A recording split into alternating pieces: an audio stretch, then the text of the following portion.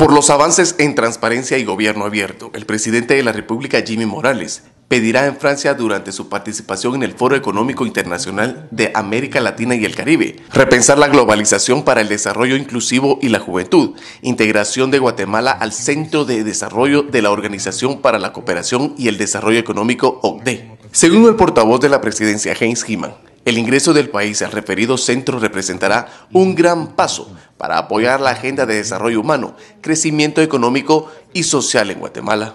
Está la salud integral, la educación, la calidad, las oportunidades para la juventud, la seguridad alimentaria y el desarrollo económico, los cuales están contenidos dentro de su política de gobierno y las prioridades presidenciales la sostenibilidad ambiental y la seguridad en sus distintas dimensiones. Los inversionistas y empresas únicamente invertirán en países que son eminentemente transparentes en sus prácticas fiscales y de gobierno, agregó el portavoz de Guatemala sobre la importancia de la solicitud del país.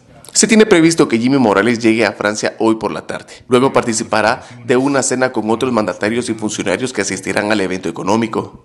Paralelamente se dará la actividad de la OCDE, en la cual el presidente hará el cierre de la reunión internacional, que concluye el día sábado, informó Jiman. Eh, en el marco de la visita, en general serán eh, contenidos en el tema de desarrollo económico, en el tema de juventud y en el tema de transparencia.